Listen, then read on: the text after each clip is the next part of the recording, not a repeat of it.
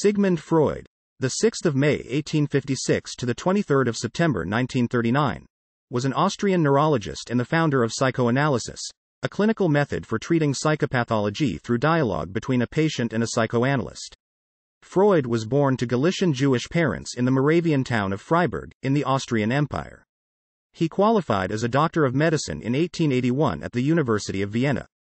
Upon completing his habilitation in 1885, he was appointed a docent in neuropathology and became an affiliated professor in 1902. Freud lived and worked in Vienna, having set up his clinical practice there in 1886. In 1938, Freud left Austria to escape Nazi persecution. He died in exile in the United Kingdom in 1939. In founding psychoanalysis, Freud developed therapeutic techniques such as the use of free association and discovered transference, establishing its central role in the analytic process. Freud's redefinition of sexuality to include its infantile forms led him to formulate the Oedipus complex as the central tenet of psychoanalytical theory. His analysis of dreams as wish fulfillments provided him with models for the clinical analysis of symptom formation and the underlying mechanisms of repression. On this basis, Freud elaborated his theory of the unconscious and went on to develop a model of psychic structure comprising id, ego, and superego. Freud postulated the existence of libido, sexualized energy with which mental processes and structures are invested and which generates erotic attachments, and a death drive, the source of compulsive repetition, hate, aggression, and neurotic guilt. In his later works, Freud developed a wide ranging interpretation and critique of religion and culture. Though in overall decline as a diagnostic and clinical practice, psychoanalysis remains influential within psychology, psychiatry, and psychotherapy, and across the humanities. It thus continues to generate extensive and highly contested debate concerning its therapeutic efficacy, its scientific status, and whether it advances or hinders the feminist cause. Nonetheless, Freud's work has suffused contemporary Western thought and popular culture. W. H. Auden's 1940 poetic tribute to Freud describes him as having created a whole climate of opinion, under whom we conduct our different lives. Biography Early life and education Freud was born to Jewish parents in the Moravian town of Freiberg, in the Austrian Empire, now Pribor, Czech Republic, the first of eight children. Both of his parents were from Galicia, a historic province straddling modern day West Ukraine and southeast Poland. His father, Jakob Freud, 1815 to 1896, a wool merchant, had two sons, Emmanuel, 1833 to 1914, and Philip, 1836 to 1911, by his first marriage.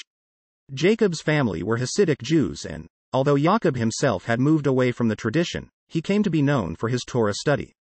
He and Freud's mother, Amalia Nathanson, who was 20 years younger and his third wife, were married by Rabbi Isaac Noah Mannheimer on the 29th of July 1855. They were struggling financially and living in a rented room, in a locksmith's house at Schlossergasse 117 when their son Sigmund was born. He was born with a caul, which his mother saw as a positive omen for the boy's future. In 1859, the Freud family left Freiberg. Freud's half brothers immigrated to Manchester, England, parting him from the inseparable playmate of his early childhood, Emmanuel's son, John. Jakob Freud took his wife and two children. Freud's sister, Anna, was born in 1858. A brother, Julius, born in 1857, had died in infancy, firstly to Leipzig and then in 1860 to Vienna, where four sisters and a brother were born Rosa, b. 1860, Marie, b. 1861, Adolphine, b. 1862, Paula, b. 1864, Alexander, b. 1866. In 1865, the nine year old Freud entered the Leopoldstadter Kommunal Realgymnasium, a prominent high school. He proved to be an outstanding pupil and graduated from the Matura in 1873 with honors.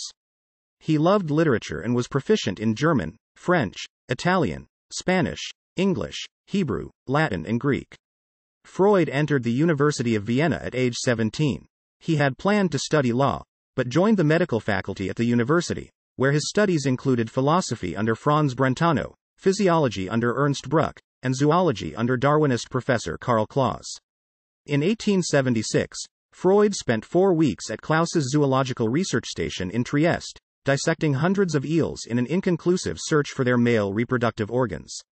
In 1877, Freud moved to Ernst Bruck's physiology laboratory where he spent six years comparing the brains of humans and other vertebrates with those of frogs and invertebrates such as crayfish and lampreys.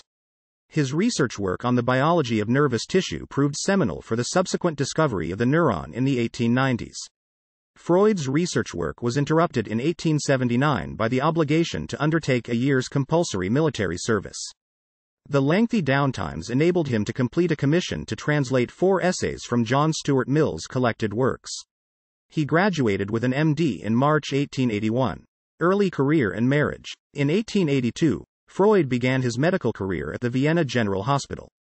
His research work in cerebral anatomy led to the publication of an influential paper on the palliative effects of cocaine in 1884, and his work on aphasia would form the basis of his first book on aphasia, a critical study, published in 1891. Over a three year period, Freud worked in various departments of the hospital. His time spent in Theodor Meynert's psychiatric clinic and as a locum in a local asylum led to an increased interest in clinical work. His substantial body of published research led to his appointment as a university lecturer or docent in neuropathology in 1885, a non salaried post but one which entitled him to give lectures at the University of Vienna. In 1886, Freud resigned his hospital post and entered private practice specializing in nervous disorders. The same year he married Martha Bernays, the granddaughter of Isaac Bernays, a chief rabbi in Hamburg. They had six children Matilda, b. 1887, Jean Martin, b. 1889, Oliver, b. 1891, Ernst, b. 1892, Sophie, b. 1893, and Anna, b. 1895. From 1891 until they left Vienna in 1938, Freud and his family lived in an apartment at Bergasse 19, near Innere Stadt, a historical district of Vienna. In 1896, Minna Bernays, Martha Freud's sister, became a permanent member of the Freud household after the death of her fiancé. The close relationship she formed with Freud led to rumors, started by Carl Jung, of an affair. The discovery of a Swiss hotel guestbook entry for the 13th of August 1898, signed by Freud whilst traveling with his sister-in-law, has been presented as evidence of the affair. Freud began smoking tobacco at age 24. Initially a cigarette smoker, he became a cigar smoker. He believed smoking enhanced his capacity to work and that he could exercise self control in moderating it. Despite health warnings from colleague Wilhelm Fliess, he remained a smoker, eventually suffering a buccal cancer. Freud suggested to Fliess in 1897 that addictions, including that to tobacco, were substitutes for masturbation, the one great habit. Dot. Freud had greatly admired his philosophy tutor, Brentano, who was known for his theories of perception and introspection. Brentano discussed the possible existence of the unconscious mind in his psychology from an empirical standpoint. Although Brentano denied its existence, his discussion of the unconscious probably helped introduce Freud to the concept.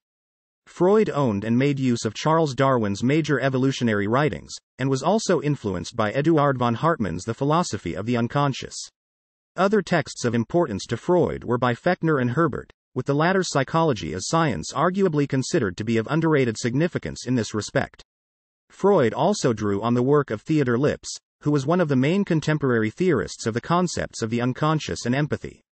Though Freud was reluctant to associate his psychoanalytic insights with prior philosophical theories, attention has been drawn to analogies between his work and that of both Schopenhauer and Nietzsche. In 1908, Freud said that he occasionally read Nietzsche, and had a strong fascination for his writings, but did not study him, because he found Nietzsche's intuitive insights resembled too much his own work at the time, and also because he was overwhelmed by the wealth of ideas he encountered when he read Nietzsche. Freud sometimes would deny the influence of Nietzsche's ideas. One historian quotes Peter L. Rudnytsky, who says that based on Freud's correspondence with his adolescent friend Eduard Silberstein, Freud read Nietzsche's The Birth of Tragedy and probably the first two of the Untimely Meditations when he was 17. In 1900, the year of Nietzsche's death, Freud bought his collected works. He told his friend, Fliess, that he hoped to find in Nietzsche's works the words for much that remains mute in me. Later, he said he had not yet opened them. Freud came to treat Nietzsche's writings as texts to be resisted far more than to be studied. His interest in philosophy declined after he had decided on a career in neurology. Freud read William Shakespeare in English throughout his life, and it has been suggested that his understanding of human psychology may have been partially derived from Shakespeare's plays. Freud's Jewish origins and his allegiance to his secular Jewish identity were of significant influence in the formation of his intellectual and moral outlook, especially concerning his intellectual nonconformism, as he was the first to point out in his autobiographical study. They would also have a substantial effect on the content of psychoanalytic ideas, particularly in respect of their common concerns with depth interpretation and the bounding of desire by law. Development of psychoanalysis. In October 1885, Freud went to Paris on a three month fellowship to study with Jean Martin Charcot, a renowned neurologist who was conducting scientific research into hypnosis. He was later to recall the experience of this stay as catalytic in turning him toward the practice of medical psychopathology and away from a less financially promising career in neurology research. Charcot specialized in the study of hysteria and susceptibility to hypnosis, which he frequently demonstrated with patients on stage in front of an audience. Once he had set up in private practice back in Vienna in 1886, Freud began using hypnosis in his clinical work. He adopted the approach of his friend and collaborator, Joseph Breuer, in a type of hypnosis that was different from the French methods he had studied, in that it did not use suggestion. The treatment of one particular patient of Breuer's proved to be transformative for Freud's clinical practice. Described as Anna O, she was invited to talk about her symptoms while under hypnosis, she would coin the phrase, talking cure, for her treatment. In the course of talking in this way, her symptoms became reduced in severity as she retrieved memories of traumatic incidents associated with their onset. The inconsistent results of Freud's early clinical work eventually led him to abandon hypnosis, having concluded that more consistent and effective symptom relief could be achieved by encouraging patients to talk freely, without censorship or inhibition, about whatever ideas or memories occurred to them.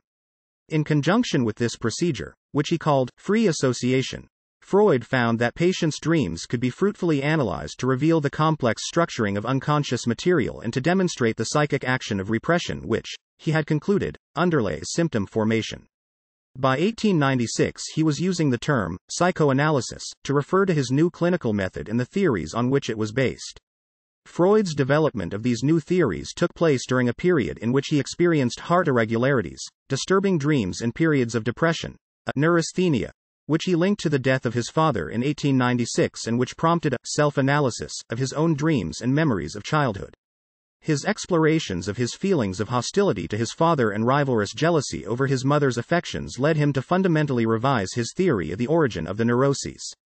Based on his early clinical work, Freud had postulated that unconscious memories of sexual molestation in early childhood were a necessary precondition for the psychoneuroses, hysteria and obsessional neurosis, a formulation now known as Freud's seduction theory. In the light of his self analysis, Freud abandoned the theory that every neurosis can be traced back to the effects of infantile sexual abuse, now arguing that infantile sexual scenarios still had a causative function, but it did not matter whether they were real or imagined, and that in either case, they became pathogenic only when acting as repressed memories. This transition from the theory of infantile sexual trauma as a general explanation of how all neuroses originate to one that presupposes autonomous infantile sexuality provided the basis for Freud's subsequent formulation of the theory of the Oedipus complex. Freud described the evolution of his clinical method and set out his theory of the psychogenetic origins of hysteria, demonstrated in several case histories, in studies on hysteria published in 1895, co-authored with Joseph Breuer. In 1899 he published The Interpretation of Dreams in which, following a critical review of existing theory, Freud gives detailed interpretations of his own and his patients' dreams in terms of wish fulfillments made subject to the repression and censorship of the dream work.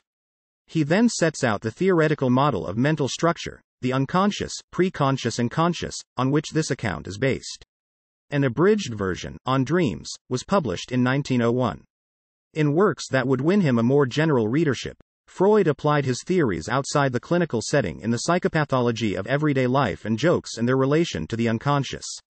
In three essays on the theory of sexuality, published in 1905, Freud elaborates his theory of infantile sexuality, describing its polymorphous perverse forms and the functioning of the drives to which it gives rise in the formation of sexual identity.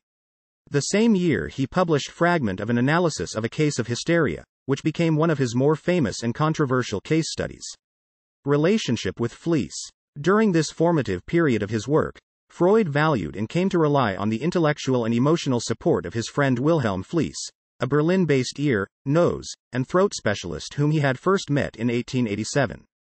Both men saw themselves as isolated from the prevailing clinical and theoretical mainstream because of their ambitions to develop radical new theories of sexuality.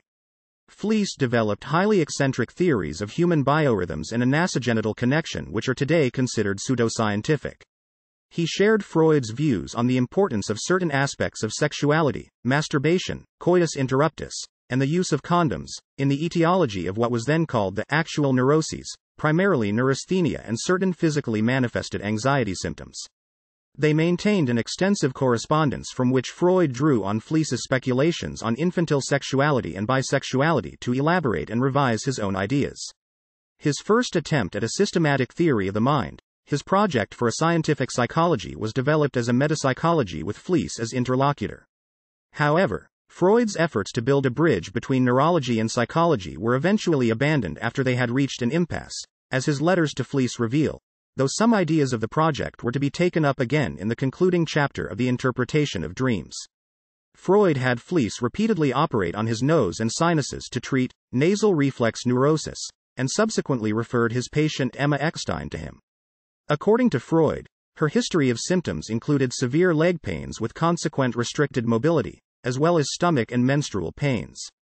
These pains were, according to Fliess's theories, caused by habitual masturbation, which, as the tissue of the nose and genitalia were linked, was curable by removal of part of the middle turbinate. Fliess's surgery proved disastrous, resulting in profuse, recurrent nasal bleeding he had left a half meter of gauze in Eckstein's nasal cavity whose subsequent removal left her permanently disfigured. At first, though aware of Fliess's culpability and regarding the remedial surgery in horror, Freud could bring himself only to intimate delicately in his correspondence with Fliess the nature of his disastrous role, and in subsequent letters maintained a tactful silence on the matter or else returned to the face-saving topic of Eckstein's hysteria.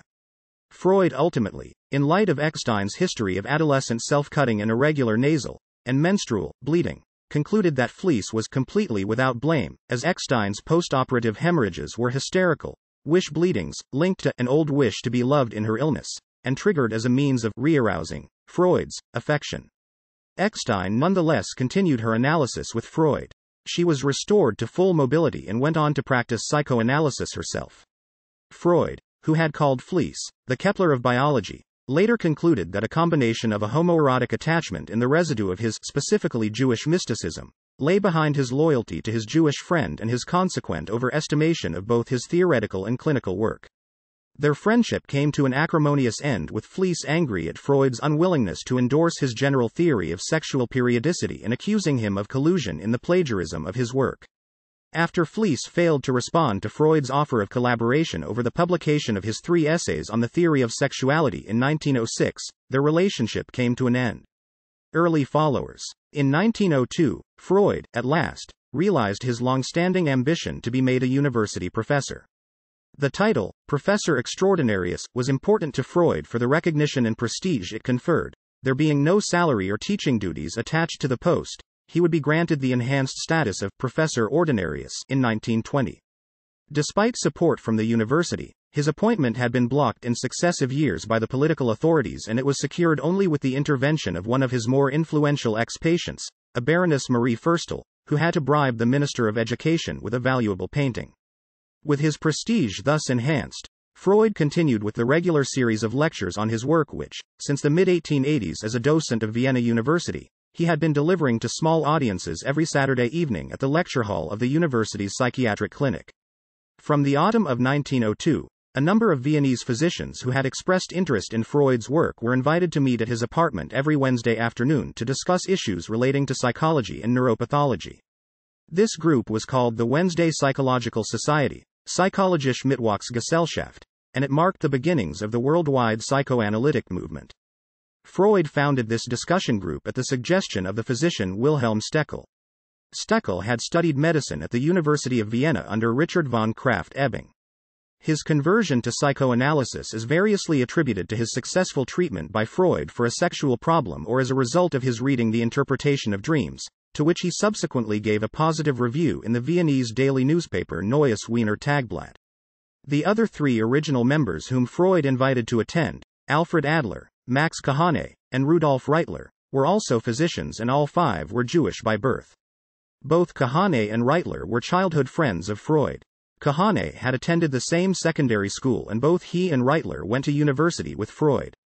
They had kept abreast of Freud's developing ideas through their attendance at his Saturday evening lectures.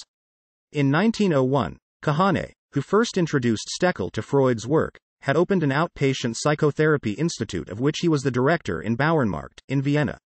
In the same year, his medical textbook, Outline of Internal Medicine for Students and Practicing Physicians, was published. In it, he provided an outline of Freud's psychoanalytic method. Kahane broke with Freud and left the Wednesday Psychological Society in 1907 for unknown reasons and in 1923 committed suicide. Reitler was the director of an establishment providing thermal cures in Dorotheergasse which had been founded in 1901. He died prematurely in 1917.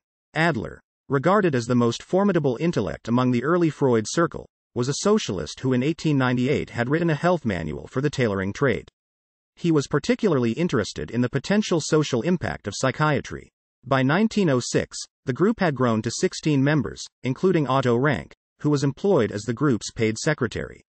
In the same year, Freud began a correspondence with Carl Gustav Jung, who was by then already an academically acclaimed researcher into word association in the galvanic skin response, and a lecturer at Zurich University, although still only an assistant to Eugen Bleuler at the Burgholzli Mental Hospital in Zurich. In March 1907, Jung and Ludwig Binswanger, also a Swiss psychiatrist, traveled to Vienna to visit Freud and attend the discussion group. Thereafter, they established a small psychoanalytic group in Zurich.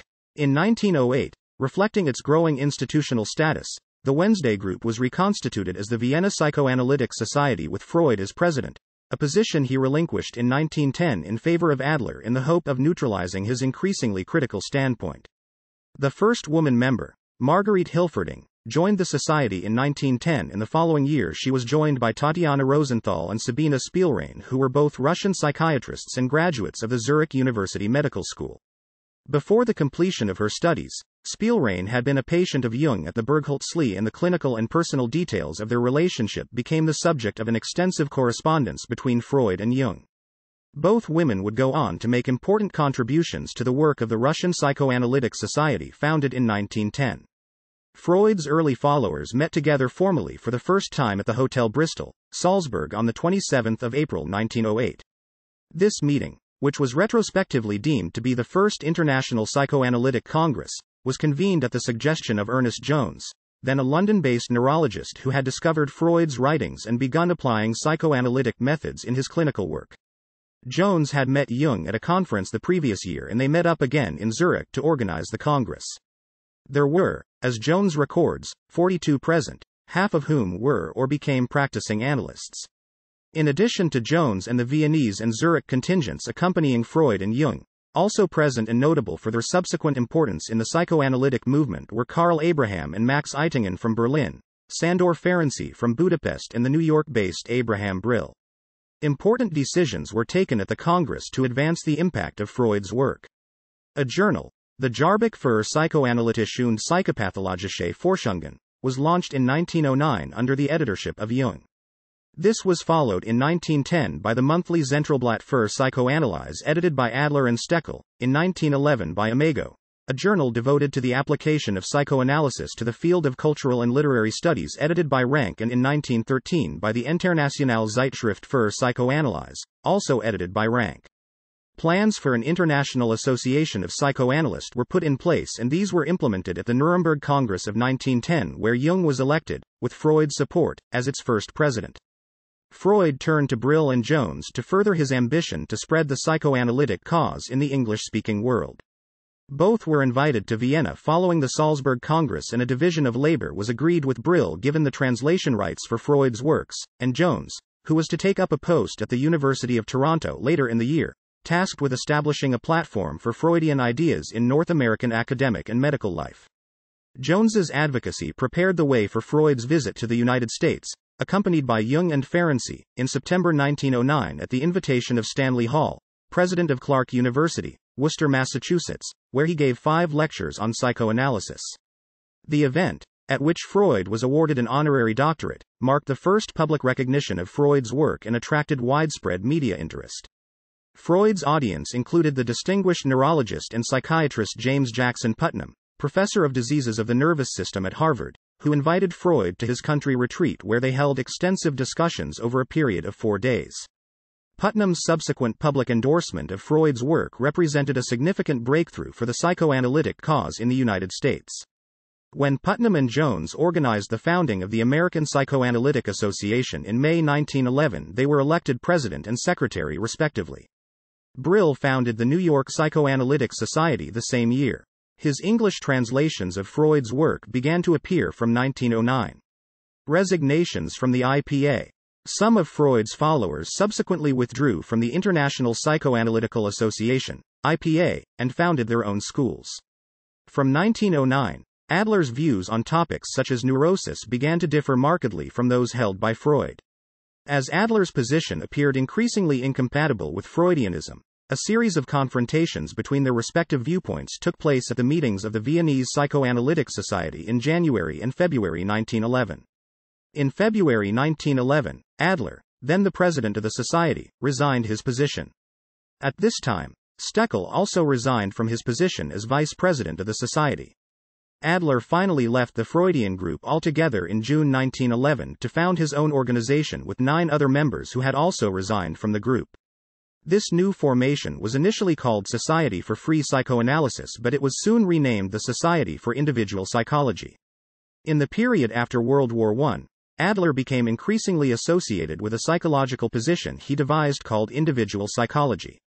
In 1912, Jung published Wandlungen und Symbole der Libido, published in English in 1916 as Psychology of the Unconscious, making it clear that his views were taking a direction quite different from those of Freud. To distinguish his system from psychoanalysis, Jung called it analytical psychology. Anticipating the final breakdown of the relationship between Freud and Jung, Ernest Jones initiated the formation of a secret committee of loyalists charged with safeguarding the theoretical coherence and institutional legacy of the psychoanalytic movement.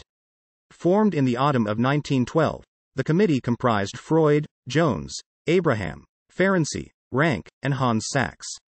Max Eitingon joined the committee in 1919. Each member pledged himself not to make any public departure from the fundamental tenets of psychoanalytic theory before he had discussed his views with the others. After this development, Jung recognized that his position was untenable and resigned as editor of the Jahrbuch and then as president of the IPA in April 1914. The Zurich Society withdrew from the IPA the following July. Later the same year, Freud published a paper entitled The History of the Psychoanalytic Movement, the German original being first published in the Jahrbuch, giving his view on the birth and evolution of the psychoanalytic movement and the withdrawal of Adler and Jung from it. The final defection from Freud's inner circle occurred following the publication in 1924 of Rank's The Trauma of Birth, which other members of the committee read as, in effect, abandoning the Oedipus complex as the central tenet of psychoanalytic theory. Abraham and Jones became increasingly forceful critics of Rank, and though he and Freud were reluctant to end their close and long standing relationship, the break finally came in 1926 when Rank resigned from his official posts in the IPA and left Vienna for Paris. His place on the committee was taken by Anna Freud. Rank eventually settled in the United States where his revisions of Freudian theory were to influence a new generation of therapists uncomfortable with the orthodoxies of the IPA. Early psychoanalytic movement. After the founding of the IPA in 1910, an international network of psychoanalytical societies, training institutes, and clinics became well established and a regular schedule of biannual congresses commenced after the end of World War I to coordinate their activities. Abraham and Eitingon founded the Berlin Psychoanalytic Society in 1910 and then the Berlin Psychoanalytic Institute and the Polyclinic in 1920. The Polyclinic's innovations of free treatment and child analysis, and the Berlin Institute's standardization of psychoanalytic training had a major influence on the wider psychoanalytic movement. In 1927, Ernst Simmel founded the Schloss Tegel Sanatorium on the outskirts of Berlin, the first such establishment to provide psychoanalytic treatment in an institutional framework. Freud organized a fund to help finance its activities, and his architect son, Ernst, was commissioned to refurbish the building. It was forced to close in 1931 for economic reasons. The 1910 Moscow Psychoanalytic Society became the Russian Psychoanalytic Society and Institute in 1922. Freud's Russian followers were the first to benefit from translations of his work, the 1904 Russian translation of The Interpretation of Dreams appearing nine years before Brill's English edition. The Russian Institute was unique in receiving state support for its activities, including publication of translations of Freud's works. Support was abruptly annulled in 1924, when Joseph Stalin came to power, after which psychoanalysis was denounced on ideological grounds. After helping found the American Psychoanalytic Association in 1911, Ernest Jones returned to Britain from Canada in 1913 and founded the London Psychoanalytic Society the same year. In 1919, he dissolved this organization and, with its core membership purged of Jungian adherents, founded the British Psychoanalytical Society, serving as its president until 1944. The Institute of Psychoanalysis was established in 1924 and the London Clinic of Psychoanalysis was established in 1926, both under Jones's directorship. The Vienna Ambulatorium was established in 1922 and the Vienna Psychoanalytic Institute was founded in 1924 under the directorship of Helena Deutsch. Ferenczi founded the Budapest Psychoanalytic Institute in 1913 and a clinic in 1929. Psychoanalytic societies and institutes were established in Switzerland, France, Italy, the Netherlands, Norway, and in Palestine, Jerusalem, 1933, by Eitingon, who had fled Berlin after Adolf Hitler came to power. The New York Psychoanalytic Institute was founded in 1931. The 1922 Berlin Congress was the last Freud attended. By this time, his speech had become seriously impaired by the prosthetic device he needed as a result of a series of operations on his cancerous jaw. He kept abreast of developments through regular correspondence with his principal followers and via the circular letters and meetings of the secret committee, which he continued to attend. The committee continued to function until 1927, by which time institutional developments within the IPA, such as the establishment of the International Training Commission, had addressed concerns about the transmission of psychoanalytic theory and practice. There remained, however, significant differences over the issue of lay analysis, i.e., the acceptance of non medically qualified candidates for psychoanalytic training. Freud set out his case in favor in 1926 in his The Question of Lay Analysis.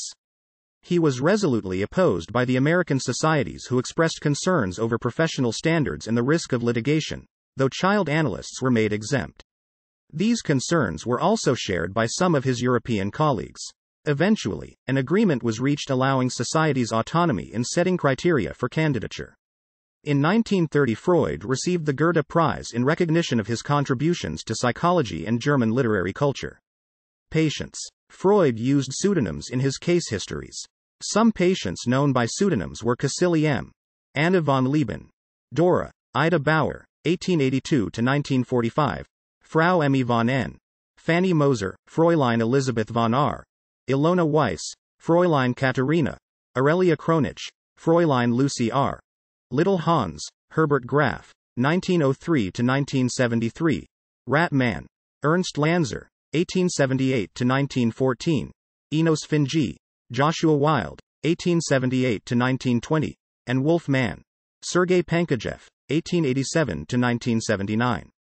Other famous patients included Prince Pedro Augusto of Brazil, 1866 to 1934, H.D., 1886 to 1961, Emma Eckstein, 1865 to 1924, Gustav Mahler, 1860 to 1911, with whom Freud had only a single, extended consultation, Princess Marie Bonaparte, Edith Banfield Jackson, 1895 to 1977, and Albert Hirst, 1887 to 1974.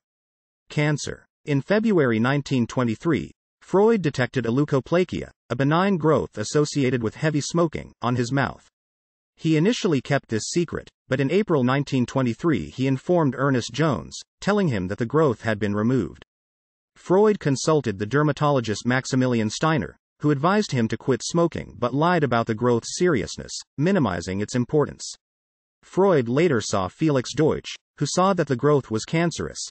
He identified it to Freud using the euphemism, a bad leukoplakia, instead of the technical diagnosis epithelioma. Deutsch advised Freud to stop smoking and have the growth excised. Freud was treated by Marcus Hajek, a rhinologist whose competence he had previously questioned. Hajek performed an unnecessary cosmetic surgery in his clinic's outpatient department. Freud bled during and after the operation, and may narrowly have escaped death. Freud subsequently saw Deutsch again. Deutsch saw that further surgery would be required, but did not tell Freud he had cancer because he was worried that Freud might wish to commit suicide. Escape from Nazism. In January 1933, the Nazi Party took control of Germany, and Freud's books were prominent among those they burned and destroyed. Freud remarked to Ernest Jones, What progress we are making. In the Middle Ages, they would have burned me. Now, they are content with burning my books. Freud continued to underestimate the growing Nazi threat and remained determined to stay in Vienna, even following the Anschluss of 13 March 1938, in which Nazi Germany annexed Austria, and the outbreaks of violent anti-Semitism that ensued. Jones, the then president of the International Psychoanalytical Association, IPA, flew into Vienna from London via Prague on 15 March determined to get Freud to change his mind and seek exile in Britain. This prospect and the shock of the arrest and interrogation of Anna Freud by the Gestapo finally convinced Freud it was time to leave Austria. Jones left for London the following week with a list provided by Freud of the party of emigres for whom immigration permits would be required. Back in London, Jones used his personal acquaintance with the Home Secretary, Sir Samuel Hoare, to expedite the granting of permits. There were 17 in all and work permits were provided where relevant. Jones also used his influence in scientific circles, persuading the president of the Royal Society, Sir William Bragg, to write to the Foreign Secretary Lord Halifax, requesting to good effect that diplomatic pressure be applied in Berlin and Vienna on Freud's behalf. Freud also had support from American diplomats, notably his ex patient and American ambassador to France, William Bullitt. Bullitt alerted U.S. President Roosevelt to the increased dangers facing the Freuds, resulting in the American Consul General in Vienna, John Cooper Wiley, arranging regular monitoring of Bergasse 19. He also intervened by phone call during the Gestapo interrogation of Anna Freud. The departure from Vienna began in stages throughout April and May 1938. Freud's grandson, Ernst Halberstadt, and Freud's son Martin's wife and children left for Paris in April. Freud's sister in law, Minna Bernays, left for London on the 5th of May, Martin Freud the following week and Freud's daughter Matilda and her husband, Robert Hollitscher, on the 24th of May. By the end of the month, arrangements for Freud's own departure for London had become stalled, mired in a legally tortuous and financially extortionate process of negotiation with the Nazi authorities. Under regulations imposed on its Jewish population by the new Nazi regime, a commissar was appointed to manage Freud's assets and those of the IPA whose headquarters were near Freud's home. Freud was allocated to Dr. Anton Sauerwald, who had studied chemistry at Vienna University under Professor Joseph Herzig, an old friend of Freud's. Sauerwald read Freud's books to further learn about him and became sympathetic towards his situation. Though required to disclose details of all Freud's bank accounts to his superiors and to arrange the destruction of the historic library of books housed in the offices of the IPA, Sauerwald did neither. Instead, he removed evidence of Freud's foreign bank accounts to his own safekeeping and arranged the storage of the IPA library in the Austrian National Library, where it remained until the end of the war. Though Sauerwald's intervention lessened the financial burden of the flight tax on Freud's declared assets, other substantial charges were levied concerning the debts of the IPA and the valuable collection of antiquities Freud possessed. Unable to access his own accounts, Freud turned to Princess Marie Bonaparte, the most eminent and wealthy of his French followers, who had traveled to Vienna to offer her support, and it was she who made the necessary funds available. This allowed Sauerwald to sign the necessary exit visas for Freud, his wife Martha, and daughter Anna. They left Vienna on the Orient Express on the 4th of June, accompanied by their housekeeper and a doctor, arriving in Paris the following day, where they stayed as guests of Marie Bonaparte, before traveling overnight to London, arriving at London Victoria Station on the 6th of June. Among those soon to call on Freud to pay their respects were Salvador Dali, Stefan Zweig, Leonard Woolf, Virginia Woolf, and H. G. Wells. Representatives of the Royal Society called with the Society's charter for Freud, who had been elected a foreign member in 1936, to sign himself into membership. Marie Bonaparte arrived near the end of June to discuss the fate of Freud's four elderly sisters left behind in Vienna. Her subsequent attempts to get them exit visas failed, and they would all die in Nazi concentration camps.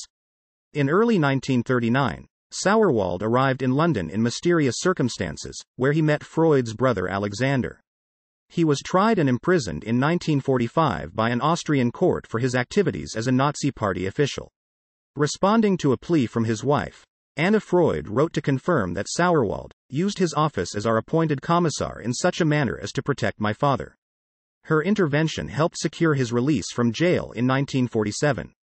In the Freud's new home, 20 Maresfield Gardens, Hampstead, North London, Freud's Vienna consulting room was recreated in faithful detail. He continued to see patients there until the terminal stages of his illness. He also worked on his last books, Moses and Monotheism, published in German in 1938 and in English the following year, and the uncompleted An Outline of Psychoanalysis, which was published posthumously. Death. By mid September 1939, Freud's cancer of the jaw was causing him increasingly severe pain and had been declared inoperable. The last book he read, Balzac's Le Peau de Chagrin, prompted reflections on his own increasing frailty, and a few days later he turned to his doctor, friend, and fellow refugee, Max Schur, reminding him that they had previously discussed the terminal stages of his illness. Schur, you remember our contract, not to leave me in the lurch when the time had come. Now it is nothing but torture and makes no sense. When Schur replied that he had not forgotten, Freud said, I thank you, and then, talk it over with Anna, and if she thinks it's right, then make an end of it. Anna Freud wanted to postpone her father's death, but Schur convinced her it was pointless to keep him alive. On 21 and the 22nd of September, he administered doses of morphine that resulted in Freud's death at around 3 a.m. on the 23rd of September 1939. However, discrepancies in the various accounts Schur gave of his role in Freud's final hours, which have in turn led to inconsistencies between Freud's main biographers, has led to further research and a revised account. This proposes that Schur was absent from Freud's deathbed when a third and final dose of morphine was administered by Dr. Josephine Strauss, a colleague of Anna Freud, leading to Freud's death at around midnight on the 23rd of September 1939. Three days after his death, Freud's body was cremated at the Golders Green Crematorium in North London, with Harrods acting as funeral directors, on the instructions of his son, Ernst. Funeral orations were given by Ernest Jones and the Austrian author Stefan Zweig. Freud's ashes were later placed in the crematorium's Ernest George Columbarium, see Freud Corner.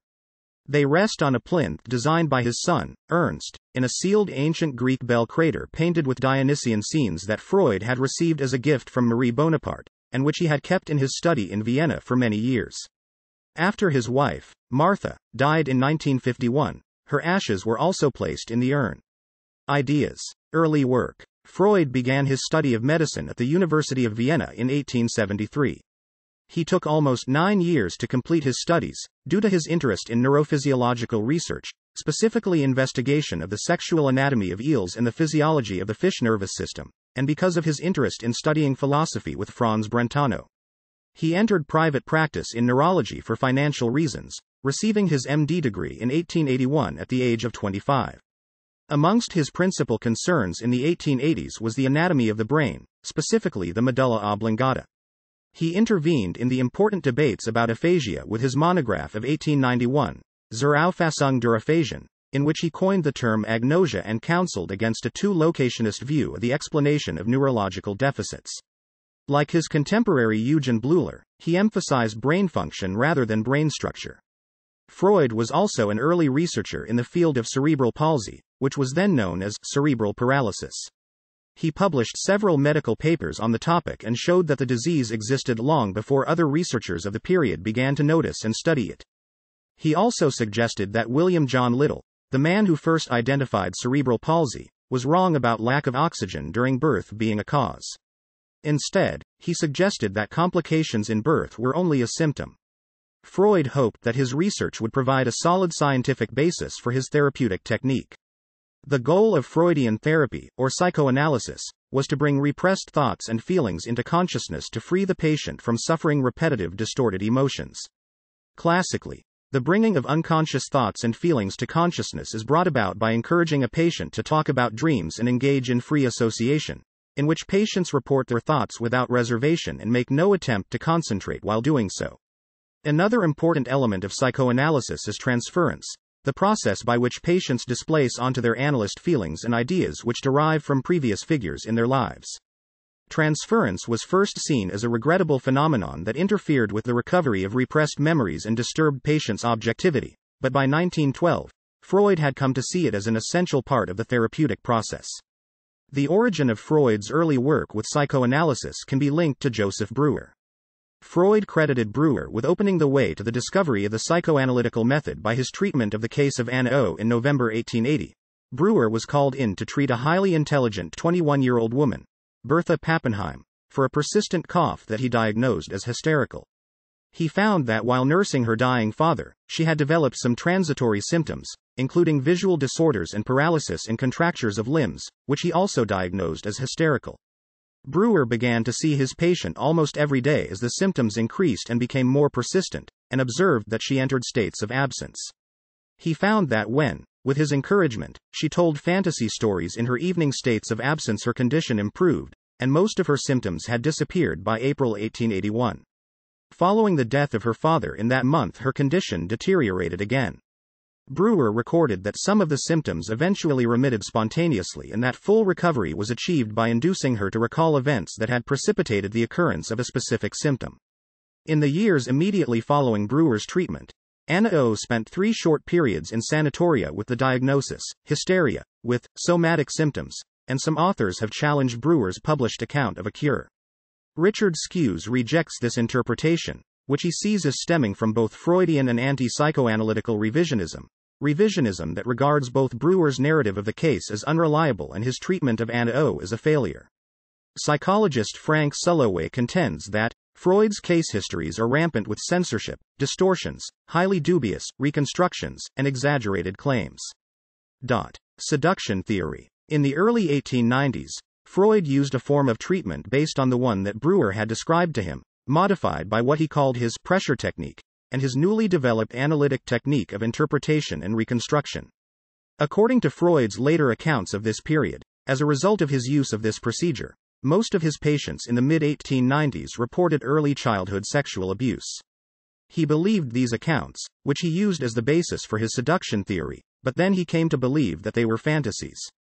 He explained these at first as having the function of fending off memories of infantile masturbation, but in later years he wrote that they represented Oedipal fantasies, stemming from innate drives that are sexual and destructive in nature. Another version of events focuses on Freud's proposing that unconscious memories of infantile sexual abuse were at the root of the psychoneuroses in letters to Fliess in October 1895, before he reported that he had actually discovered such abuse among his patients. In the first half of 1896, Freud published three papers, which led to his seduction theory, stating that he had uncovered, in all of his current patients, deeply repressed memories of sexual abuse in early childhood. In these papers, Freud recorded that his patients were not consciously aware of these memories, and must therefore be present as unconscious memories if they were to result in hysterical symptoms or obsessional neurosis. The patients were subjected to considerable pressure to reproduce infantile sexual abuse scenes that Freud was convinced had been repressed into the unconscious.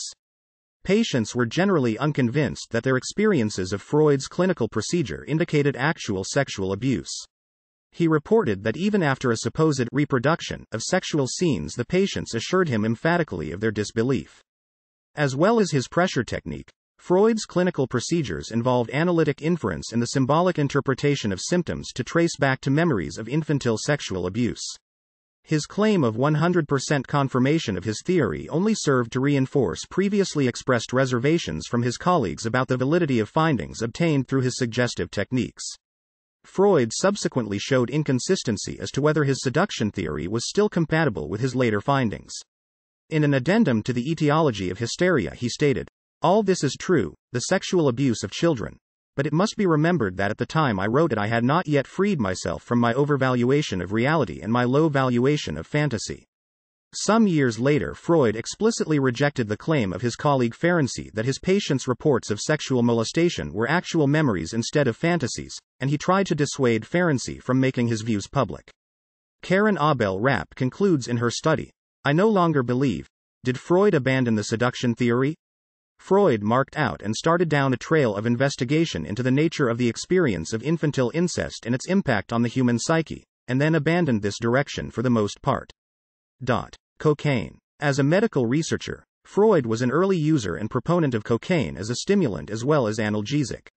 He believed that cocaine was a cure for many mental and physical problems, and in his 1884 paper, On Coca, he extolled its virtues.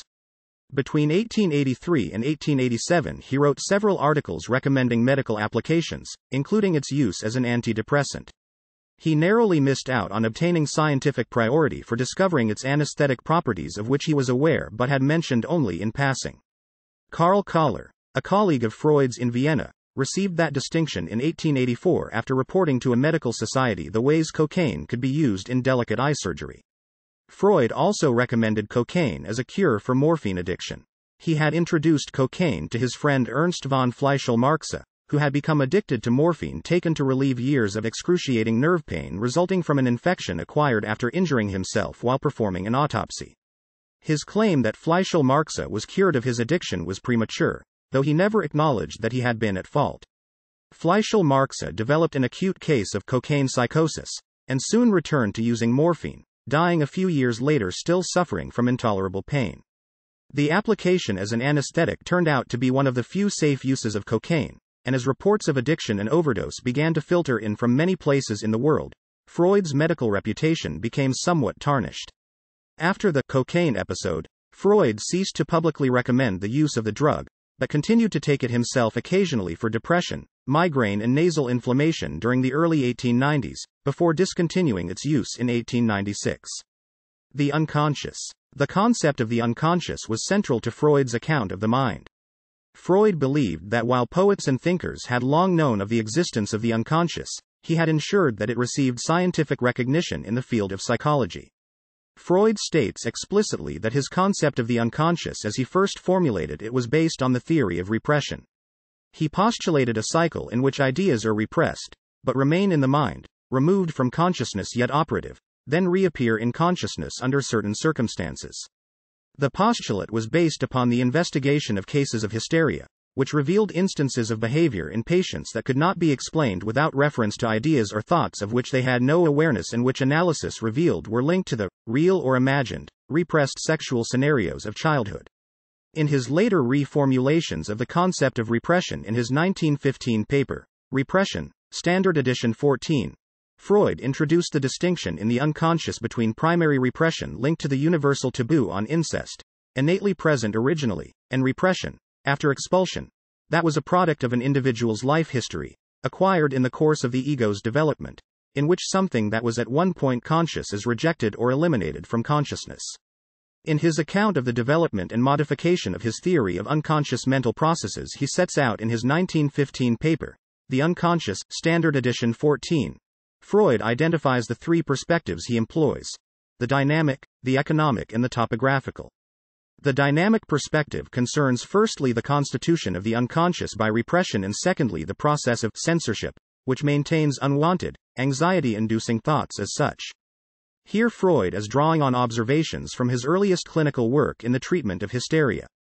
In the economic perspective, the focus is upon the trajectories of the repressed contents, the vicissitudes of sexual impulses, as they undergo complex transformations in the process of both symptom formation and normal unconscious thought, such as dreams and slips of the tongue. These were topics Freud explored in detail in the interpretation of dreams and the psychopathology of everyday life. Whereas both these former perspectives focus on the unconscious as it is about to enter consciousness, the topographical perspective represents a shift in which the systemic properties of the unconscious, its characteristic processes, and modes of operation such as condensation and displacement, are placed in the foreground. Dot. In his later work, notably in The Ego and the ID, a second topography is introduced comprising id, ego, and superego, which is superimposed on the first without replacing it. In this later formulation of the concept of the unconscious, the id comprises a reservoir of instincts or drives, a portion of them being hereditary or innate, a portion repressed or acquired. As such, from the economic perspective, the id is the prime source of psychical energy, and from the dynamic perspective, it conflicts with the ego and the superego, which, genetically speaking, are diversifications of the id. Dreams.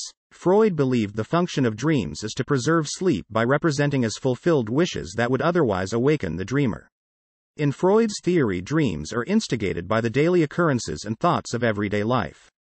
In what Freud called the dream work, These secondary process thoughts, word presentations, governed by the rules of language and the reality principle, become subject to the primary process of unconscious thought, thing presentations, governed by the pleasure principle, wish gratification in the repressed sexual scenarios of childhood. Because of the disturbing nature of the latter and other repressed thoughts and desires which may have become linked to them, the dream work operates a censorship function, disguising by distortion, displacement, and condensation the repressed thoughts to preserve sleep. In the clinical setting, Freud encouraged free association to the dream's manifest content, as recounted in the dream narrative, to facilitate interpretive work on its latent content, the repressed thoughts and fantasies, and also on the underlying mechanisms and structures operative in the dream work. As Freud developed his theoretical work on dreams, he went beyond his theory of dreams as wish fulfillments to arrive at an emphasis on dreams as nothing other than a particular form of thinking. Dot. It is the dream work that creates that form, and it alone is the essence of dreaming.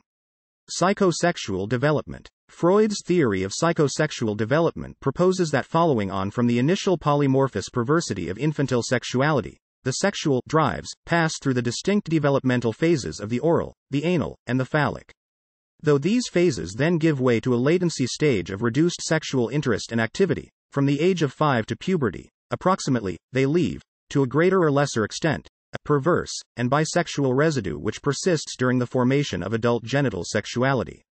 Freud argued that neurosis and perversion could be explained in terms of fixation or regression to these phases, whereas adult character and cultural creativity could achieve a sublimation of their perverse residue.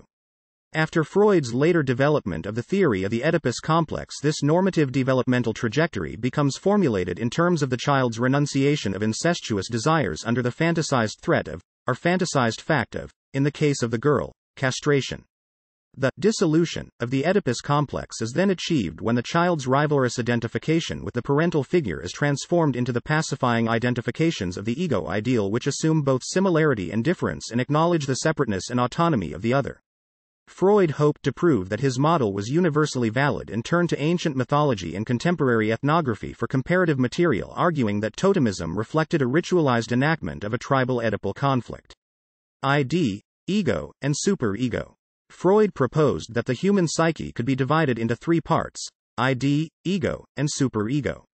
Freud discussed this model in the 1920 essay Beyond the Pleasure Principle, and fully elaborated upon it in The Ego in the ID, in which he developed it as an alternative to his previous topographic schema, i.e., conscious, unconscious, and preconscious. The id is the completely unconscious, impulsive, childlike portion of the psyche that operates on the pleasure principle, and is the source of basic impulses and drives. It seeks immediate pleasure and gratification. Freud acknowledged that his use of the term ID, das Es, the it, derives from the writings of Georg Groddeck. The superego is the moral component of the psyche.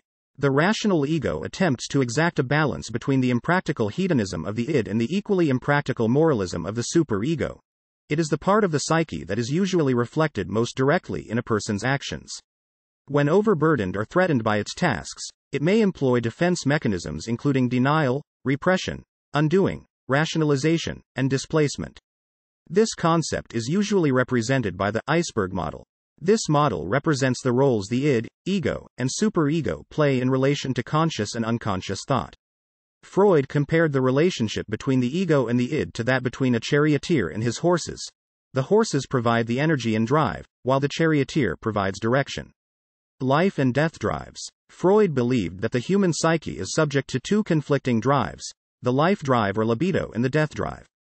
The life drive was also termed eros, and the death drive, thanatos, although Freud did not use the latter term. Thanatos was introduced in this context by Paul Federn. Freud hypothesized that libido is a form of mental energy with which processes, structures, and object representations are invested. In Beyond the Pleasure Principle, Freud inferred the existence of a death drive. Its premise was a regulatory principle that has been described as the principle of psychic inertia, the nirvana principle, and the conservatism of instinct. Its background was Freud's earlier project for a scientific psychology, where he had defined the principle governing the mental apparatus as its tendency to divest itself of quantity or to reduce tension to zero. Freud had been obliged to abandon that definition, since it proved adequate only to the most rudimentary kinds of mental functioning, and replaced the idea that the apparatus tends toward a level of zero tension with the idea that it tends toward a minimum level of tension. Freud, in effect, readopted the original definition in Beyond the Pleasure Principle, this time applying it to a different principle. He asserted that on certain occasions the mind acts as though it could eliminate tension, or in effect to reduce itself to a state of extinction. His key evidence for this was the existence of the compulsion to repeat. Examples of such repetition included the dream life of traumatic neurotics and children's play. In the phenomenon of repetition, Freud saw a psychic trend to work over earlier impressions, to master them and derive pleasure from them, a trend that was before the pleasure principle but not opposed to it. In addition to that trend, there was also a principle at work that was opposed to, and thus, beyond, the pleasure principle. If repetition is a necessary element in the binding of energy or adaptation, when carried to inordinate lengths, it becomes a means of abandoning adaptations and reinstating earlier or less evolved psychic positions. By combining this idea with the hypothesis that all repetition is a form of discharge, Freud concluded that the compulsion to repeat is an effort to restore a state that is both historically primitive and marked by the total draining of energy, death. Such an explanation has been defined by some scholars as metaphysical biology. Melancholia. In his 1917 essay, Mourning and melancholia. Freud distinguished mourning, painful but an inevitable part of life, and melancholia, his term for pathological refusal of a mourner to decathect from the lost one. Freud claimed that, in normal mourning, the ego was responsible for narcissistically detaching the libido from the lost one as a means of self preservation, but that in melancholia, prior ambivalence towards the lost one prevents this from occurring. Suicide, Freud hypothesized, could result in extreme cases, when unconscious feelings of conflict became directed against the mourner's own ego. Femininity and female sexuality. Initiating what became the first debate within psychoanalysis on femininity, Karen Horney of the Berlin Institute set out to challenge Freud's account of the development of feminine sexuality. Rejecting Freud's theories of the feminine castration complex and penis envy, Horney argued for a primary femininity and penis envy as a defensive formation rather than arising from the fact, or injury, of biological asymmetry as Freud held. Horney had the influential support of Melanie Klein and Ernest Jones, who coined the term phallocentrism in his critique of Freud's position. In defending Freud against this critique, feminist scholar Jacqueline Rose has argued that it presupposes a more normative account of female sexual development than that given by Freud. She notes that Freud moved from a description of the little girl stuck with her inferiority or injury in the face of the anatomy of the little boy to an account in his later work which explicitly describes the process of becoming feminine as an injury or catastrophe for the complexity of her earlier psychic and sexual life. According to Freud, elimination of clitoral sexuality is a necessary precondition for the development of femininity, since it is immature and masculine in its nature.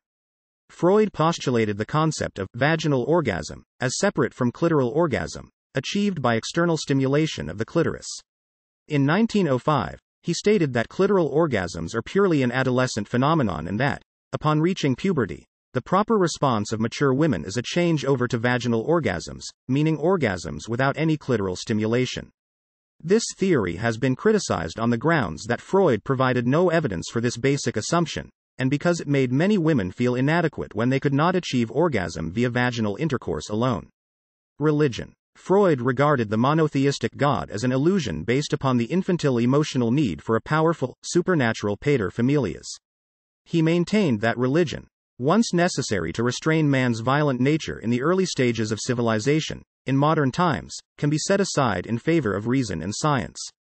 Obsessive actions and religious practices notes the likeness between faith, religious belief, and neurotic obsession. Totem and Taboo proposes that society and religion begin with the patricide and eating of the powerful paternal figure, who then becomes a revered collective memory. These arguments were further developed in The Future of an Illusion, in which Freud argued that religious belief serves the function of psychological consolation. Freud argues the belief of a supernatural protector serves as a buffer from man's fear of nature, just as the belief in an afterlife serves as a buffer from man's fear of death. The core idea of the work is that all of religious belief can be explained through its function to society, not for its relation to the truth. This is why, according to Freud, religious beliefs are illusions. In Civilization and Its Discontents, he quotes his friend Romain Rolland, who described religion as an oceanic sensation, but says he never experienced this feeling. Moses and monotheism proposes that Moses was the tribal paterfamilias, killed by the Jews, who psychologically coped with the patricide with a reaction formation conducive to their establishing monotheistic Judaism. Analogously, he described the Roman Catholic rite of Holy Communion as cultural evidence of the killing and devouring of the Sacred Father. Moreover, he perceived religion, with its suppression of violence, as mediator of the societal and personal, the public and the private, conflicts between eros and thanatos, the forces of life and death. Later works indicate Freud's pessimism about the future of civilization, which he noted in the 1931 edition of Civilization and its Discontents. In a footnote of his 1909 work, Analysis of a Phobia in a Five Year Old Boy, Freud theorized that the universal fear of castration was provoked in the uncircumcised when they perceived circumcision and that this was the deepest unconscious root of antisemitism. Legacy Freud's legacy, though a highly contested area of controversy, was described by Stephen Frosh as one of the strongest influences on 20th century thought, its impact comparable only to that of Darwinism and Marxism. Henri Ellenberger stated that its range of influence permeated all the fields of culture. So far as to change our way of life and concept of man. Dot. Psychotherapy. Though not the first methodology in the practice of individual verbal psychotherapy, Freud's psychoanalytic system came to dominate the field from early in the 20th century, forming the basis for many later variants. While these systems have adopted different theories and techniques, all have followed Freud by attempting to achieve psychic and behavioral change through having patients talk about their difficulties. Psychoanalysis is not as influential as it once was in Europe and the United States, though in some parts of the world, notably Latin America, its influence in the later 20th century expanded substantially. Psychoanalysis also remains influential within many contemporary schools of psychotherapy and has led to innovative therapeutic work in schools and with families and groups. There is a substantial body of research which demonstrates the efficacy of the clinical methods of psychoanalysis and of related psychodynamic therapies in treating a wide range of psychological disorders. The Neo-Freudians, a group including Alfred Adler, Otto Rank, Karen Horney, Harry Stack Sullivan and Erich Fromm, rejected Freud's theory of instinctual drive, emphasized interpersonal relations and self-assertiveness, and made modifications to therapeutic practice that reflected these theoretical shifts. Adler originated the approach, although his influence was indirect due to his inability to systematically formulate his ideas. The neo Freudian analysis places more emphasis on the patient's relationship with the analyst and less on the exploration of the unconscious. Carl Jung believed that the collective unconscious, which reflects the cosmic order and the history of the human species, is the most important part of the mind. It contains archetypes, which are manifested in symbols that appear in dreams, disturbed states of mind, and various products of culture. Jungians are less interested in infantile development and psychological conflict between wishes and the forces that frustrate them than in integration between different parts of the person. The object of Jungian therapy was to mend such splits. Jung focused in particular on problems of middle and later life. His objective was to allow people to experience the split off aspects of themselves, such as the anima, a man's suppressed female self, the animus, a woman's suppressed male self, or the shadow, an inferior self image, and thereby attain wisdom. Jacques Lacan approached psychoanalysis through linguistics and literature. Lacan believed Freud's essential work had been done before 1905 and concerned the interpretation of dreams, neurotic symptoms, and slips, which had been based on a revolutionary way of understanding language and its relation to experience and subjectivity, and that ego psychology and object relations theory were based upon misreadings of Freud's work. For Lacan, the determinative dimension of human experience is neither the self, as in ego psychology, nor relations with others, as in object relations theory, but language. Lacan saw desire as more important than need and considered it necessarily ungratifiable. Wilhelm Reich developed ideas that Freud had developed at the beginning of his psychoanalytic investigation but then superseded but never finally discarded. These were the concept of the actual neurosis and a theory of anxiety based upon the idea of dammed up libido. In Freud's original view, what really happened to a person, the actual, determined the resulting neurotic disposition. Freud applied that idea both to infants and to adults. In the former case, seductions were sought as the causes of later neuroses and in the latter incomplete sexual release. Unlike Freud, Reich retained the idea that actual experience, especially sexual experience, was of key significance. By the 1920s, Reich had taken Freud's original ideas about sexual release to the point of specifying the orgasm as the criteria of healthy function. Reich was also developing his ideas about character into a form that would later take shape, first as muscular armor, and eventually as a transducer of universal biological energy, the orgone. Fritz Perls, who helped to develop Gestalt therapy, was influenced by Reich, Jung, and Freud. The key idea of Gestalt therapy is that Freud overlooked the structure of awareness, an active process that moves toward the construction of organized meaningful wholes. Between an organism and its environment, these wholes, called gestalts, are patterns involving all the layers of organismic function, thought, feeling, and activity. Neurosis is seen as splitting in the formation of gestalts, and anxiety is the organism sensing the struggle towards its creative unification. Gestalt therapy attempts to cure patients by placing them in contact with immediate organismic needs. Perls rejected the verbal approach of classical psychoanalysis. Talking in Gestalt therapy serves the purpose of self expression rather than gaining self knowledge. Gestalt therapy usually takes place in groups, and in concentrated workshops, rather than being spread out over a long period of time. It has been extended into new forms of communal living. Arthur Janov's primal therapy, which has been influential post Freudian psychotherapy, resembles psychoanalytic therapy in its emphasis on early childhood experience but has also differences with it. While Janov's theory is akin to Freud's early idea of actual neurosis, he does not have a dynamic psychology but a nature psychology like that of Reich or Perls, in which need is primary while wish is derivative and dispensable when need is met. Despite its surface similarity to Freud's ideas, Janov's theory lacks a strictly psychological account of the unconscious and belief in infantile sexuality. While for Freud there was a hierarchy of dangerous situations, for Janov the key event in the child's life is an awareness that the parents do not love it. Janov writes in The Primal Scream that primal therapy has in some ways returned to Freud's early ideas and techniques.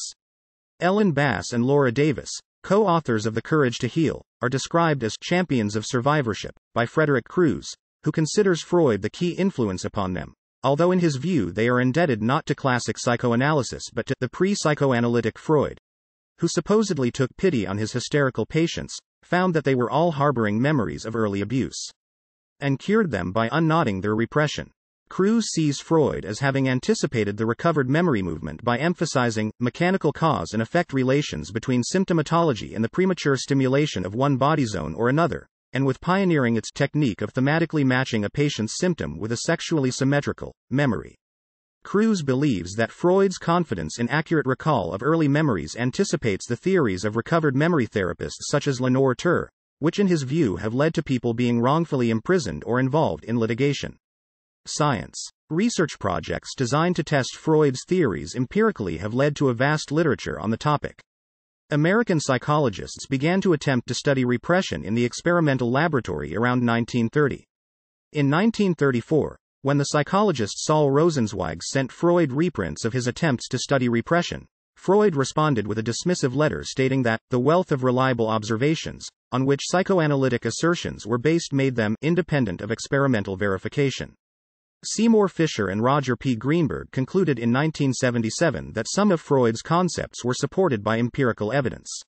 Their analysis of research literature supported Freud's concepts of oral and anal personality constellations, his account of the role of Oedipal factors in certain aspects of male personality functioning, his formulations about the relatively greater concern about the loss of love in women's as compared to men's personality economy, and his views about the instigating effects of homosexual anxieties on the formation of paranoid delusions. They also found limited and equivocal support for Freud's theories about the development of homosexuality. They found that several of Freud's other theories, including his portrayal of dreams as primarily containers of secret, unconscious wishes, as well as some of his views about the psychodynamics of women, were either not supported or contradicted by research. Reviewing the issues again in 1996, they concluded that much experimental data relevant to Freud's work exists, and supports some of his major ideas and theories. Other viewpoints include those of Hans Eysenck, who writes in Decline and Fall of the Freudian Empire that Freud set back the study of psychology and psychiatry by something like 50 years or more, and Malcolm Macmillan, who concludes in Freud evaluated that Freud's method is not capable of yielding objective data about mental processes. Morris Eagle states that it has been demonstrated quite conclusively that because of the epistemologically contaminated status of clinical data derived from the clinical situation, such data have questionable probative value in the testing of psychoanalytic hypotheses. Richard Webster, in Why Freud Was Wrong, described psychoanalysis as perhaps the most complex and successful pseudoscience in history. Crews believes that psychoanalysis has no scientific or therapeutic merit.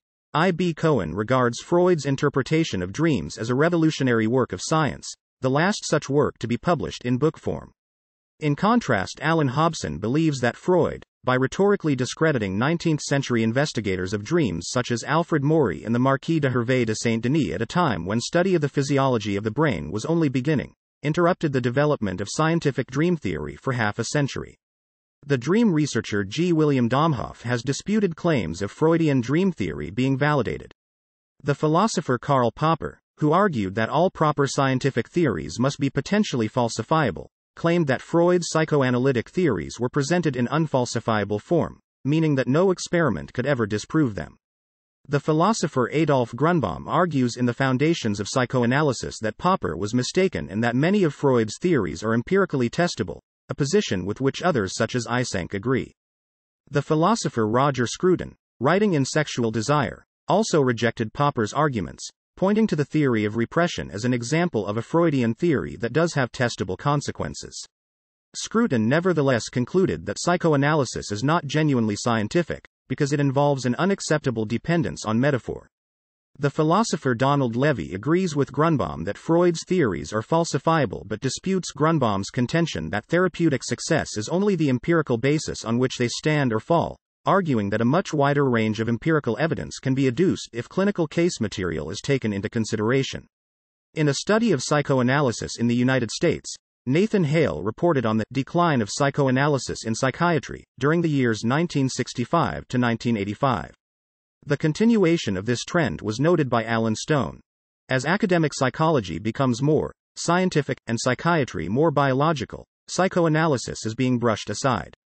Paul Stepansky, while noting that psychoanalysis remains influential in the humanities, records that vanishingly small number of psychiatric residents who choose to pursue psychoanalytic training and the non-analytic backgrounds of psychiatric chairpersons at major universities, among the evidence he cites for his conclusion that such historical trends attest to the marginalization of psychoanalysis within American psychiatry. Nonetheless, Freud was ranked as the third most cited psychologist of the 20th century, according to a review of General Psychology Survey of American Psychologists and Psychology Texts, published in 2002. It is also claimed that in moving beyond the orthodoxy of the not so distant past, New ideas and new research has led to an intense reawakening of interest in psychoanalysis from neighboring disciplines ranging from the humanities to neuroscience and including the non analytic therapies. Research in the emerging field of neuropsychoanalysis, founded by neuroscientist and psychoanalyst Mark Solms, has proved controversial with some psychoanalysts criticizing the very concept itself. Solms and his colleagues have argued for neuroscientific findings being broadly consistent with Freudian theories pointing out brain structures relating to Freudian concepts such as libido, drives, the unconscious, and repression. Neuroscientists who have endorsed Freud's work include David Eagleman, who believes that Freud transformed psychiatry by providing the first exploration of the way in which hidden states of the brain participate in driving thought and behavior, and Nobel laureate Eric Kandel, who argues that psychoanalysis still represents the most coherent and intellectually satisfying view of the mind. Dot. Philosophy. Psychoanalysis has been interpreted as both radical and conservative. By the 1940s, it had come to be seen as conservative by the European and American intellectual community. Critics outside the psychoanalytic movement, whether on the political left or right, saw Freud as a conservative. Fromm had argued that several aspects of psychoanalytic theory served the interests of political reaction in his The Fear of Freedom, an assessment confirmed by sympathetic writers on the right. In Freud, The Mind of the Moralist, Philip Rieff portrayed Freud as a man who urged men to make the best of an inevitably unhappy fate, and admirable for that reason. In the 1950s, Herbert Marcuse challenged the then prevailing interpretation of Freud as a conservative in Eros and civilization, as did Lionel Trilling in Freud in The Crisis of Our Culture and Norman O. Brown in Life Against Death. Eros and Civilization helped make the idea that Freud and Karl Marx were addressing similar questions from different perspectives credible to the left. Marcuse criticized neo Freudian revisionism for discarding seemingly pessimistic theories such as the death instinct, arguing that they could be turned in a utopian direction. Freud's theories also influenced the Frankfurt School and critical theory as a whole. Freud has been compared to Marx by Reich, who saw Freud's importance for psychiatry as parallel to that of Marx for economics, and by Paul Robinson, who sees Freud as a revolutionary whose contributions to 20th century thought are comparable in importance to Marx's contributions to the 19th century thought. Fromm calls Freud, Marx, and Einstein the architects of the modern age, but rejects the idea that Marx and Freud were equally significant, arguing that Marx was both far more historically important and a finer thinker. Fromm nevertheless credits Freud with permanently changing the way human nature is understood. Gilles Deleuze and Felix Guattari write in Anti-Oedipus that psychoanalysis resembles the Russian Revolution in that it became corrupted almost from the beginning. They believe this began with Freud's development of the theory of the Oedipus complex, which they see as idealist. Jean-Paul Sartre critiques Freud's theory of the unconscious in being and nothingness, claiming that consciousness is essentially self-conscious. Sartre also attempts to adapt some of Freud's ideas to his own account of human life, and thereby develop an existential psychoanalysis, in which causal categories are replaced by teleological categories. Maurice Merleau-Ponty considers Freud to be one of the anticipators of phenomenology, while Theodor W. Adorno considers Edmund Husserl, the founder of phenomenology, to be Freud's philosophical opposite, writing that Husserl's polemic against psychologism could have been directed against psychoanalysis. Paul Ricoeur sees Freud as one of the three masters of suspicion, alongside Marx and Nietzsche, for their unmasking the lies and illusions of consciousness. Ricoeur and Jürgen Habermas have helped create a hermeneutic version of Freud, one which claimed him as the most significant progenitor of the shift from an objectifying, empiricist understanding of the human realm to one stressing subjectivity and interpretation. Louis Althusser drew on Freud's concept of overdetermination for his reinterpretation of Marx's Capital. Jean-François Lyotard developed a theory of the unconscious that reverses Freud's account of the dream work. For Lyotard, the unconscious is a force whose intensity is manifest via disfiguration rather than condensation. Jacques Derrida finds Freud to be both a late figure in the history of Western metaphysics and, with Nietzsche and Heidegger, a precursor of his own brand of radicalism. Several scholars see Freud as parallel to Plato, writing that they hold nearly the same theory of dreams and have similar theories of the tripartite structure of the human soul or personality, even if the hierarchy between the parts of the soul is almost reversed. Ernest Gellner argues that Freud's theories are an inversion of Plato's. Whereas Plato saw a hierarchy inherent in the nature of reality and relied upon it to validate norms, Freud was a naturalist who could not follow such an approach. Both men's theories drew a parallel between the structure of the human mind and that of society, but while Plato wanted to strengthen the superego, which corresponded to the aristocracy, Freud wanted to strengthen the ego, which corresponded to the middle class. Paul Vitz compares Freudian psychoanalysis to Thomism, noting St. Thomas's belief in the existence of an unconscious consciousness, and his frequent use of the word and concept, libido, sometimes in a more specific sense than Freud, but always in a manner in agreement with the Freudian use. Vitz suggests that Freud may have been unaware his theory of the unconscious was reminiscent of Aquinas. Literature and Literary Criticism. The poem, In Memory of Sigmund Freud, was published by British poet W. H. Auden in his 1940 collection Another Time. Auden describes Freud as having created a whole climate of opinion, under whom we conduct our different lives. Literary critic Harold Bloom has been influenced by Freud.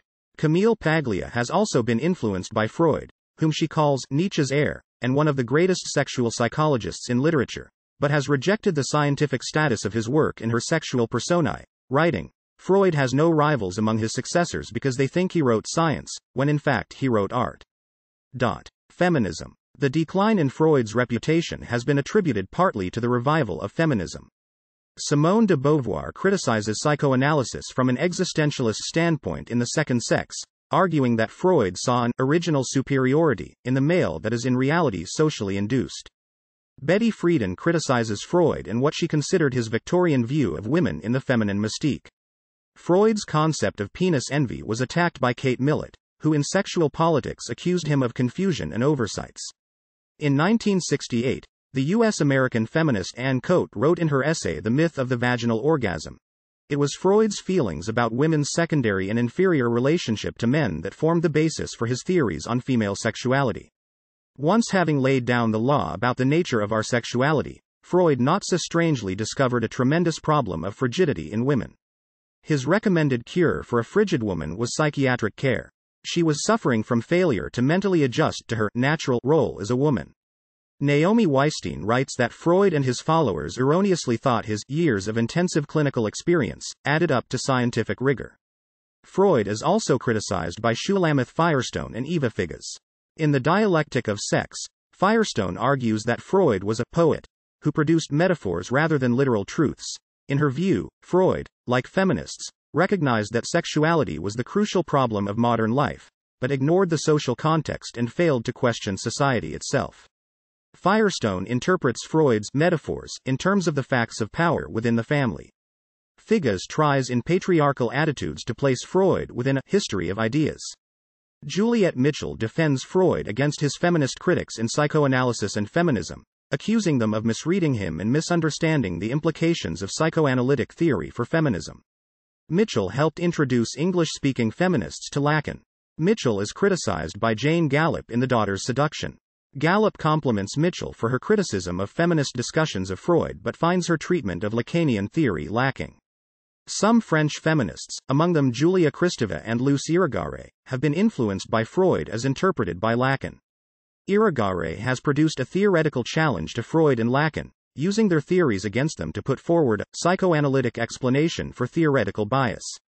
Irigaray, who claims that the cultural unconscious only recognizes the male sex, describes how this affects accounts of the psychology of women. Psychologist Carol Gilligan writes that the penchant of developmental theorists to project a masculine image, and one that appears frightening to women, goes back at least to Freud. She sees Freud's criticism of women's sense of justice reappearing in the work of Jean Piaget and Lawrence Kohlberg. Gilligan notes that Nancy Chodorow, in contrast to Freud, attributes sexual difference not to anatomy but to the fact that male and female children have different early social environments. Chodorow, writing against the masculine bias of psychoanalysis, replaces Freud's negative and derivative description of female psychology with a positive and direct account of her own. Dot. Toril Moi has developed a feminist perspective on psychoanalysis, proposing that it is a discourse that attempts to understand the psychic consequences of three universal traumas the fact that there are others, the fact of sexual difference, and the fact of death. She replaces Freud's term of castration with Stanley Cavell's concept of victimization, which is a more universal term that applies equally to both sexes. Moi regards this concept of human finitude as a suitable replacement for both castration and sexual difference as the traumatic discovery of our separate, sexed, mortal existence, and how both men and women come to terms with it. In popular culture, Sigmund Freud is the subject of three major films or TV series, the first of which was 1962's Freud. The Secret Passion starring Montgomery Clift as Freud, directed by John Huston from a revision of a script by an uncredited Jean-Paul Sartre. The film is focused on Freud's early life from 1885 to 1890 and combines multiple case studies of Freud into single ones, and multiple friends of his into single characters. In 1984, the BBC produced the six episode miniseries Freud The Life of a Dream, starring David Suchet in the lead role. The stage play The Talking Cure and subsequent film A Dangerous Method focus on the conflict between Freud and Carl Jung. Both are written by Christopher Hampton and are partly based on the nonfiction book A Most Dangerous Method by John Kerr. Viggo Mortensen plays Freud and Michael Fassbender plays Jung. The play is a reworking of an earlier unfilmed screenplay. More fanciful employments of Freud in fiction are The 7% Solution by Nicholas Meyer, which centers on an encounter between Freud and the fictional detective Sherlock Holmes, with a main part of the plot seeing Freud helping Holmes overcome his cocaine addiction. Similarly, the 2020 Austrian German series Freud involves a young Freud solving murder mysteries. The series has been criticized for having Freud be helped by a medium with real paranormal powers, when in reality Freud was quite skeptical of the paranormal. Mark Street Germain's 2009 play Freud's Last Session imagines a meeting between C.S. Lewis, aged 40, and Freud, aged 83, at Freud's house in Hampstead, London, in 1939, as the Second World War is about to break out.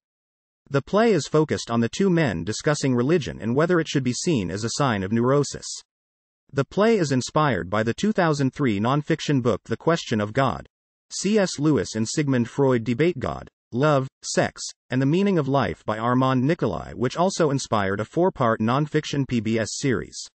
Although no such meeting took place, June Flewett, who as a teenager stayed with C.S. Lewis and his brother during the wartime London air raids, later married Freud's grandson Clement Freud. Freud is employed to more comic effect in the 1983 film Lovesick, in which Alec Guinness plays Freud's ghost who gives love advice to a modern psychiatrist played by Dudley Moore. Freud is also presented in a comedic light in the 1989 film, Bill and Ted's Excellent Adventure. Portrayed by Rod Loomis, Freud is one of several historical figures recruited by the film's time traveling lead characters to assist them in passing their high school history class presentation. Canadian author Kim Morrissey's stage play about the Dora case, Dora, a case of hysteria, attempts to thoroughly debunk Freud's approach to the case. French playwright Hélène Cixous's 1976 portrait of Dora is also critical of Freud's approach, though less acerbically. The narrator of Bob Dylan's darkly humorous 2020 song, My Own Version of You, calls Mr. Freud with his dreams one of the best known enemies of mankind, and refers to him as burning in hell. In the online, superhero themed, animated series Super Science Friends, Freud appears as a main character alongside other famous historical science figures. This audio uses material from the Wikipedia article Sigmund Freud en.wikipedia.org slash wiki slash Sigmund underscore Freud which is released under the license Creative Commons. Attribution Share Alike 3.0 Unported. CC by SA 3.0 creativecommons.org slash licenses slash by SA slash 3.0